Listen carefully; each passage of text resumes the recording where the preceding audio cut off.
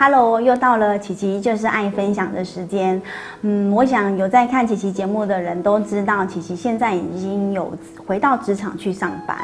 那回到职场去上班的时候，我们有时候会碰到一个状况，就是所谓的职场性骚扰。嗯，琪琪今天想要来聊一下这个东西。嗯。琪琪在呃十几年前的时候，我觉得女孩子哦，尤其是在二十出头岁的时候啊，那时候都很想要扮老，就是想要让自己看起来比较成熟。所以呢，琪琪在十五年前在职场上面的时候，那时候刚出社会啊，为了怕人家觉得我不够稳重，所以呢，就老是喜欢涂大红色的口红，然后呢，穿着垫肩的外套，让自己看起来总是比较稳重。那有一次呢，琪琪就去一个客户那边去做呃拜访。那那个客户呢，就是那间公司的老板。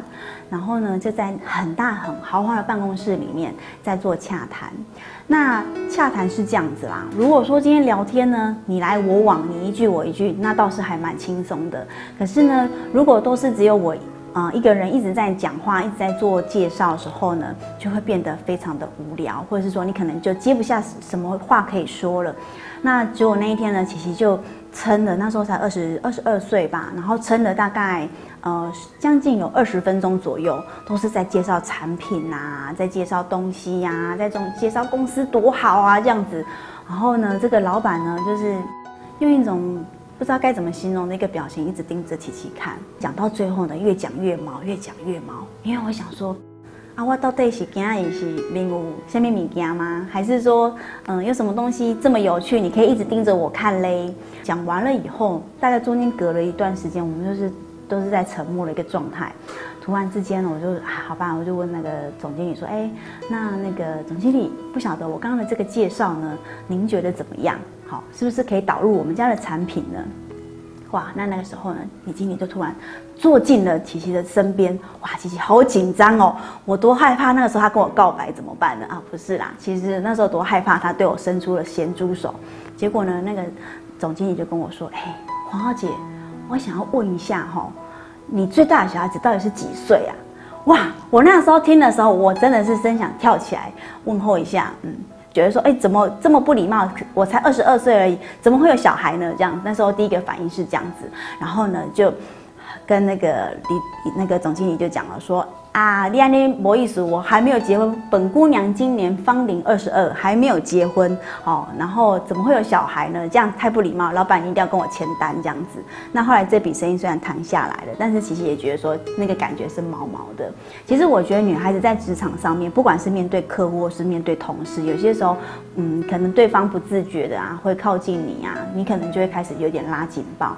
就像琪琪最近啊，有碰到就是哎同呃朋友他在职场上面就会碰到。哎，他的同事可能，哎，我们坐计程车的时候啊，他就会可能突然坐的跟你坐的好近好近，然后呢，跟你讲话的时候呢，几乎就是快要贴到你的脸上了。那这时候他就跟琪琪讲说怎么办？我其实好讨厌他这样子对我。那那时候琪琪就嗯。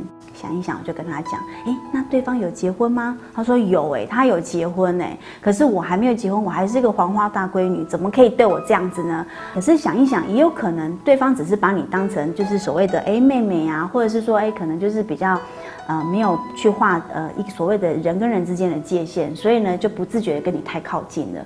那这时候你要怎么去拒绝他呢？那我这时候我就跟他讲，我说来，我教你一招。就是呢，你可以跟他讲说，你很喜欢我哈。他说，嗯，你怎么会这样跟他讲？对你学我，你很喜欢我哈。